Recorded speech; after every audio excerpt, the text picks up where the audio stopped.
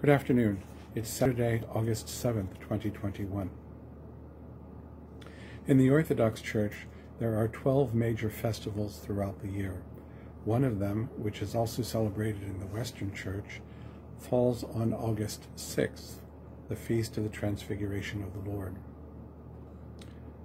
In the Revised Lectionary, we celebrate this on the Sunday before Lent except in the Catholic tradition where it occurs on the second Sunday in Lent. It's also the anniversary of the dropping of the atomic bomb at Hiroshima.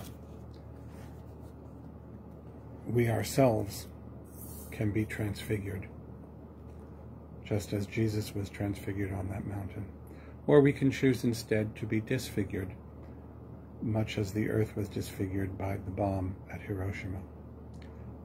I'd like to share with you the passage from Mark's Gospel about the Transfiguration, and then a short meditation by Joseph Donders. This is Mark chapter 9, verses 2 through 10. Jesus took Peter, James, and his brother John, and led them up a high mountain apart by themselves. And he was transfigured before them, and his clothes became dazzling white such as no fuller on earth could bleach them.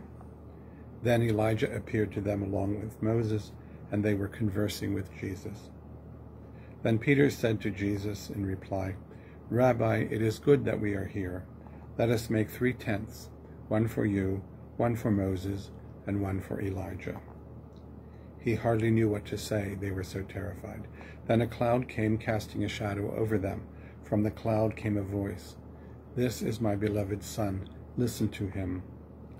Suddenly looking around, they no longer saw anyone but Jesus alone with them.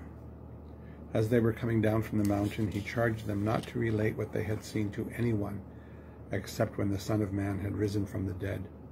So they kept the matter to themselves, questioning what rising from the dead might mean. So meditation by Joseph Donders. Their conception of themselves limited their awareness and their actions. It even restricted their awareness of what Jesus might be able to do. Peter, James, and John had some hope in him, that's true, but they had no idea what they were really in for. Maybe that's the reason he took them out of this world, out of the world they knew so very well, out of the relationships they were accustomed to, away from the water most of them had practically been living in as fishermen. He took them with them to a top of a mountain. Once up there, he started to change. First his clothing, then he himself, transparent and yet opaque, white and yet full of color, while heavenly beings appeared, Elijah and Moses. They heard him discuss with those two the coming change, the Passover, a transformed, shining world. They did not know what to say. They were taken by surprise. They mumbled something about staying there and about tents for three.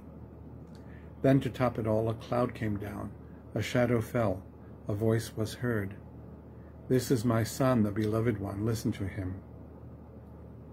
Suddenly, everything seemed over. He was standing there again, just like they had seen him so often before, one just like them. Now they knew what he was in for. They understood what the future would be, not only for him, but for themselves too. Had not he always been like them? Had not they always been like him? Had not he told them that anything he would do, they would do even better?